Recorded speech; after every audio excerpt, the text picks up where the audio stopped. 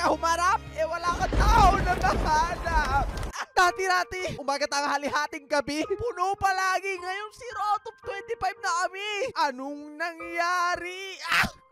Breaks my soul! Ang dating masayang pagsasama! Hantog na lang ang natira! Sino yung lagay nito? Nagtatrap mo yung tao FC naman to at saka puro prutas dito. Bakit dito meron processed foods, ha? Napaka-weird ng feeling at isipin na ako lang ang mag-isa sa server na to. Sa napakalalaki mga gusali na nabuild dito. Alam mo, para na yung kada crap. Wala nang tao eh. Sheesh! Look at the view! I love you!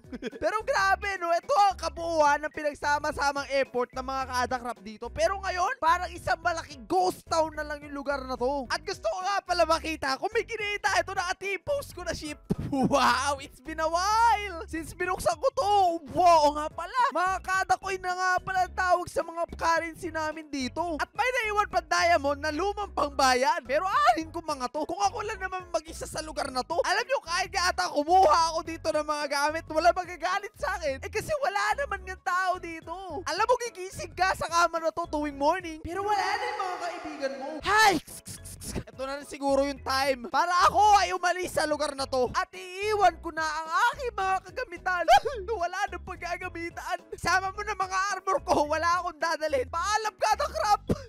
Ba, balik na lang ako. Pag bumalik na rin kayo. Eh, saan naman ako pupunta? Dahil sige, sa malayo, malayo na hindi nila ako makikita. Wow, pink ship. Sabi nila, mahirap daw makita yan. OMG! Ba, hindi ako ready dito sa ginawa ko. Ba't ba ako lumayas? Wala akong kahit ano. Wala akong gamit eh. Paano ako tatakbo? Uy, may nakita akong village boy. Pero malamang nasakop na to. Pero malay mo naman may natirang pagkain. Wala akong dali. Uh-oh! Spaghetti! Uh-oh! Hindi, hindi nila ako abot.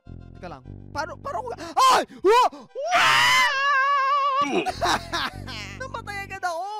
And I'm back sa base ko! And I'm back sa Anakrap! Ang galing! Para ayaw ko palisin sa lugar na to. Sige na nga, magdadala na ako ng pagkain. Nauna, padpad! Boy, dalawa na lang yung pagkain ko. Yung na tumakbo. Sobrang ganda nito. Tingnan mo, dati itong tubig. Ngayon, naging ice age na. Parang pwede na nga nito palitan yung ice skating sa MOA. Yes!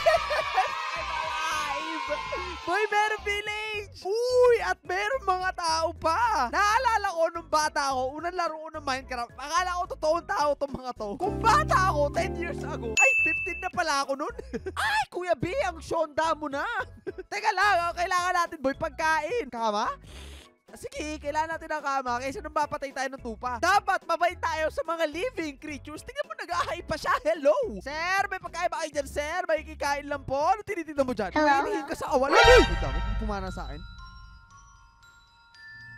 May narinig ako. Lang, napamana na yung mga to ngayon? That's so weird. Nakarinig talaga ako ng pana. Teka lang, kailangan na natin kumuha ng mga gamit dito, boy. Patuluyan nila ako. Wala man lang kahit ano dito. Ayun, may farm. Mahirap lang, boy, yung village na to. Kanina ko pa iniikot. Wala ako nakita chest. Mahirap na yung lugar na to. Nalakawan ko pa. Ang sama ko naman. Ayun, may potato. Nice. Bread, potato. Okay, akin na lang to. Boy, may emerald din sila. Sige, babayaran natin sila na pagnakaw ko. Sir, sir! Ito po yung bayad ko sa kinupit ko. Kumatanggap pa sila niyan. Boy, snabberries. Wala silang pa sa pera kasi boy, pag nagugutom ka, talagang pagkain lang ang hanap mo. Makikita tayo ng tanim dito. Ano ba to? Mayroon ba ditong carrot? Puro patatas. Sige, okay na to. One beetroot soup at saka bread tapos maraming patatas. Kailangan na natin to maitanim. Alam nyo, hindi ko para try tumira dito sa mga Ice Kingdom na yan. Kunyari tayo si Elsa. New experience, di ba? May sumubok na ba tumira dito? Dito boy, wala ka makikita talaga na animal. Ayun, tanong pala, paano ko patutubuin yung pagkain ko? Yung inaanap ko, yung pinakamataas na ice peak. Hindi na ako makatakbo. May dagdag pa tong beetroot soup talaga. Wow, meron pala yun. I think, yun siguro yung pupuntahan natin na lugar. Adam Bangayas, napakatayong nga nito. Ang mangyayari kasi pag naglagay ako ng tubig dito, magiging yelo lang. So, kailangan natin yung ma-prevent sa pamamagitan ng ilaw. Tama. Gusto ko sana doon sa taas, pero wala naman akong gamit do. Dito muna natin sa lapag ilagay. Kailangan natin save yung coordinates ko kasi ang hirap nito mabalikan napakalayo. Ay, di, mag-save point na tayo. Ngayon, ang tanong, paano kukuha ng mga tools ko? Ayun, may tubig doon. Pwede, ay, di pwede. Wait lang, pag pinasok to tubig, What? Wala boy, imposible mabuhay dito. Tignan nyo naman guys, saan ako tumingin? Puro yellow ang nakikita ko. Wow! Wala kang source ng tubig yun. Nilamig ka na, nagutom ka pa. Pero doon, pwede tayo mabuhay doon. May mga puno. Oh, may mga rabbit din. I'm alive! Di ba kailangan nila ng carrots? Saka na natin problemahin yun, pero tignan nyo yung lugar na to. Napapaligiran yung isla na to ng puro mga yelo. At meron pang kuweba! Okay, explore natin yan next time. Kailangan muna natin dito maglagay ng bahay. At buti na lang, may kahoy dito. Makagawa na ako ng tools. Pero hindi ko maintindihan yung resource pack na to, no? Ang gulo ng mga puno. Tingnan nyo, square na square. Kung maintindihan, ano ba puno to? Spruce? At syempre, kailangan natin to itanim kasi sobrang limited na resource natin sa lugar na to. Ang dami kong ginawang tools nga pala, pickaxe lang yung kailangan ko. Bisa maggabi. Ang una kong gustong gawin, kesa sa bahay, eh makakuha ng iron para makagawa ng bucket mill. Or, kung babasagin ko to, magiging tubig ba? tubig nga! Kaso, magiging yellow lito, kailangan natin ng pampatunaw. Wala pa naman akong torch. Pero nandito lang pala yung village kanina. Naisip nyo na ba naiisip ko? Kung wala akong ilaw doon sa akin, kuhain na lang natin yung ilaw nila. Ito maganda pa, lantern na. Akin na to. Hindi na maubusan ang ilaw. Nice. Hindi siya nasisira kahit itong wooden pickaxe lang. Oo nga, kailanganin ko to mga sugar cane. Ngayon, pag nilagay ko tong lantern dito, matutunaw yung paligid. Mali. Ayan na natutunaw nga. Eh pero to, matutunaw kaya tong pinaglalagyan? Alam ko na, isabit na lang natin yan. Yan, para mas safe. At ngayon, may tatanim ko ng aking mga patatas. Pero ang galing. Umulan naman ng niebe ngayon. Ililipat ko na lang to sa tabi ng bahay na gagawin ko mamaya. Baka lumamig kasi masyado yung food trip natin. Alam mo na, tiyan natin, boy. Wala pa naman doktor dito sa Minecraft. At ang aking unang pagkamatay sa lugar ng kawalan. Buti na lang dito na ako nakasave. Layo pa naman din to. Nyawit talaga. Kailangan ko na gumawa ng bahay, boy. I think gumawa na muna tayo ng stone tools natin. At dahil nandito nga tayo sa nagyayelo na lugar, eh ano pa ba ang kailangan natin makuha? Kundi yelo na buhangin. At ano, pwede mo magawa sa nagyayelo na buhangin na kulay white pero hindi color yellow?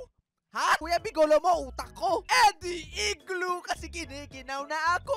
Nagyayelo na naman sa paligid ko. Paano nga ba gumawa ng igloo? Naalimutan ko na. Gawa na lang tayo ng pabilog kasi ang bilog hindi nagkakamali. Sa quiz lang, pag bilog ka, zero. Madali lang to boy, palima-lima lang to eh. So 1, 2, 3, 4, 5. O, di ba? Tapos dalawa, lima uli. O, di ba bilog na? Basic. Tarararan! Ngayon, kailangan na lang natin to gawin parang bilog. Paiglo nga, paglobo. Eh, sabi ng iba, the artist Ah, bala sila. Basta sa akin, bilog. O, tignan mo talaga to mga snow. Di pa ako tapos mag-build. Naglalagay na sila ng ibibuild. Oh, spaghetti! Mamaya ka na. Di tayo. Wait lang, ba't di ako natutulog? Nakalimutan ko na eh. Minecraft nga pala to. Pag natulog ka, mawawala ang kalaban. Basic ba, basic? In real life, di natutulog. Pati ba naman sa Minecraft? Pero bakit parang mali itong aking pinaggagawa? Paano nga ba gawin yung pabilog? Wala, bakit ganun hindi pantay? What? Saan ako nagkamali? Anyari dito, ba't di pantay? Hindi marunong gumawa ng bilog. 12 seconds later.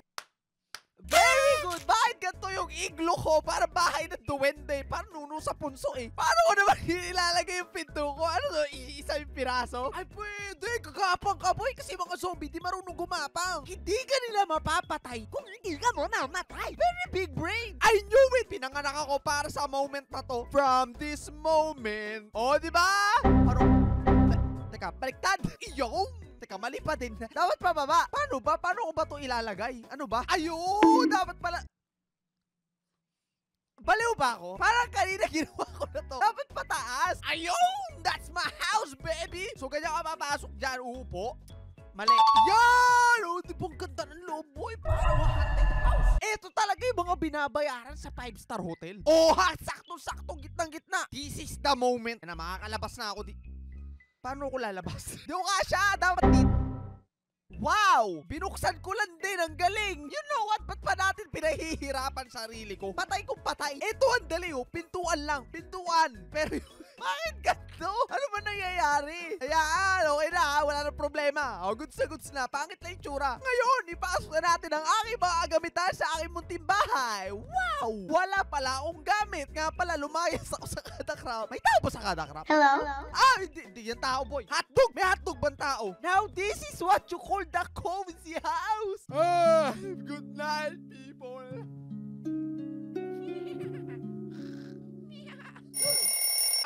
Ang bilis ng umaga! Good morning, sunshine! Ay, pagkain ko. Teka lang, mamamatay na. Wala pa rin pagkain. Pwede na ba to? Yeah, I think pwede na. Ilan? Oo, apat na patatas! Yum, yum, yum. Ang galing. Tinanggal ko lahat, hindi pa tumutubo yung iba. Automatic ko na stop. May naisip ako. Bakit ka magsasayang ng pagkain kung pwede mong dayain yung pagkamatay mo? Minecraft veteran! Yeah! Puro na ulit buhay ko. Please, huwag niyo gawin sa bahay. Sa Minecraft lang po yun gumagana. Teka nga, kawawa naman yung mga taniman ko. Lipat na natin dito sa tabi ng bahay. Eh, paano nga ako malilipat? Wala naman akong bakit. Teka lang, kuha muna tayo ng iron. Ay, wait lang. Baka may nagtatanong pala, no? Kuya, B, ano yung texture pack na gamit mo? Ito nga pala yung ginagamit ko ngayon. Ito nasa right, ha? Gayahin nyo na lang. Medyo nakakalito nga lang. At ito yung unang pasok sa kuweba na nandun sa may ilalim. Tignan nga natin kung meron dito. Sheesh! Ang lawa! Parang mag-equipment. Lantern, suot natin. Oh! What is that? Akala ko diamond! Ano yun? Loko na paningin ko. Ah, copper ba yun? Yeah! Yeah! Ang creepy ng itsura pag naglalakad! Okay, safe, safe, safe, safe. Ba't tumulan ng creeper sa kuweba na to? Ayoko dyan. Walang makita. Kailangan ko lang naman iron. Nakakaba. No! Ang dilim body! What is this cave? Sobrang lawak! Oh my goodness! Teka lang, ano bang block to? Mukhang mushroom. Ah! Ah! Ano? Ari! Ah! No, no, no, no, no, no, no, no, no, please, no, no. Ah! Sorry! Ayun! Ayun! Pero mamatay na ako. Wait, wait, wait, wait, wait, wait, wait. Anong pagkain ko? Anong pagkain ko? Wala akong pagkain. Ah, ah, patatas, patatas. Ayun. Lang ang kailangan ko. Wala nang iba. Tatlo lang, tatlo lang. Masaya na ako. Tatlo lang. Tatlo lang. Meron pa doon. Tatlo lang, tatlo lang. Tama na. I'm a head out. Bye-bye. Grabe yun. Hindi ko kaya doon unless meron tayong better equipment. Lo! Asan yung bahay ko? Teka, dinaanan ko lang. Akala ko parang snowland na malaki. Uy, uy, uy. Nagsasalitang hotdog. Hindi. Hindi yan totoong si Easy 10. Nililin lang na mata ko. Walang tao sa kada crap. Nice to see you back to back to the back. Ah! Easy 10. Hindi. Nililin lang tayo na ating maningin. Walang multo? Lalaki ako. Ayun na wala. Ano tuloy? Ano ba yung lulutuin ko? Ayun. Kasi nga ba nagagawa tayo ng taniman. Ay, ay, ay, ay, ay. Ang creepy ng itsura ng tarantula. Ay, spider lang pala pangalan nito. Ang pangit pagkapataas yung puwet. Ayaw nga. May naisip ako na plano para hindi lamigin yung tubig natin. Lagyan natin ng spruce lab. This is big brain time. O, di ba tubig pa din yan? Ngayon, lagyan natin ng ilaw. Asan ang ilaw ko? Kinuha ng tubig! Kaya pala nawawala. Sinong lagnagay dyan, ha? Aba, ayos yung gagamban to, ha? Kanina pa paikot-ikot dito. Ano ka, boss? Aba, baba na. Pa. Teka lang, parang gusto ata magpa-apply. Ano yun? Ah, gusto mo maging security guard na lugar na to? Ay, malupit to. Meron pa mga tingin-tinginan sa mga paligid-ligid. Ay, gusto lumalapit talaga. Ang pangalan mo na ngayon ay Gagamba ni Tiwisim. Gagamba ni Tiwisim. Ano daw? Ano pangalan mo? Nalimutan ko agad. Gagamba ni Tiwisim. Yan. Halika rito. Kailangan meron siyang bahay, syempre. Security guard dyan eh. Oy! Oy! Oy! Ba't natuloy na naatake mo? Teka! Grabe naman tong guard na to. Lahat inaatake. Grabe tong bata nyo. Palaban. First day sa work, nangaaway agad. Kailangan meron dito sign boy. Be careful. Gagamba ni witisim at work. Yan. O, ito may pamerienda ka pa. Witsid yan, boy. Kasi may mga gagamba. Mahilig yan sa siling labuyo. Yung gagamba ko dati, pinakain nagbabayad ng Meralco yung village na to. Mga jumper, kailangan pinuputulan niya ng kuryente. Kailangan natin kuhain yung mga lantern nila. O, isa pa to nagtatrabaho ng mamaritesan, mga chismakers. O, bawasan sahod. Akin yung mga patatas dito. Uy! May carrot! Wow! Why na natin to si Bell Sprout Boy? Kasi hindi na nagtatrabaho yung mga kakampi natin dito. Kanina pa ako tanim ng tanim. Wala pa rin ako makain. Kakastart ko lang dito sa panibago kong buhay. Tingnan nyo naman yaman ko. Ilaw ko, lantern. Dami kong lantern tapos yung torch ko, walo. Kailangan ko talaga bumaba kasi kailangan natin ng armor eh. Oh no, wow! Wow! Yes! Wow, huwag mo papaluin niya. Huwag mo papaluin! Huwag tatakain. Yan landrin up yung sword niya. Sayang yun. Grabe yung ilaw dito. Ang lupit. Kuhain natin to. Oh, redstone. Ni redstoneeris tayo eh. Ay, nabasag lang. Di ba na pwede kuhain ng stone pickaxe yun? Ano ba to? Mukha siyang iron na mukhang coal. Ah, okay. Nice. Iron. Kailangan natin ng at least full set ng armor para makababa tayo ng tuluyan. Tignan nyo naman. Buti pa yung zombie dito mga naka-armor na. Eto na. I knew it. Makikita ko na lahat ng ore. Ko sa inyo. Ay, dito x-ray ah. Nakaano lang ako. Visible ore. Visible ores. Matadownload lang yan sa internet. Ayos. Ito ang iron. Kawawi naman ako. Ang pagkain ko. Rotten flesh. Ubos pa. Uy! Akin yan! Akin yan eh! Bakit mo nakuha yung iron ko, magukay ka ng iyo. Wow, that's an iron shovel! Give it to me. Ano ba yan? Wala drop yung mga zombie dito. Oh my gulay! Kanina nakikita natin mga vines. Ngayon tignan nyo. Uy, uy, hindi ikaw. Hindi ikaw gusto ko makita. What is this place? Uy, tutulak na naman ako. Grabe itong mga kalaban na to. Ano sa mga naugali? O yan dapat sa'yo. Ayoko na na. Kailan na ba? O, 29. Gawin natin yan. Ay! Ayoko na talaga. Ayoko na. Enough na to. Kahit si Mayor said, di pa never enough. Nice! 29 iron. Kaya na ba makabuo nito? Alam ko, 23 lang yung kailangan para sa buong set.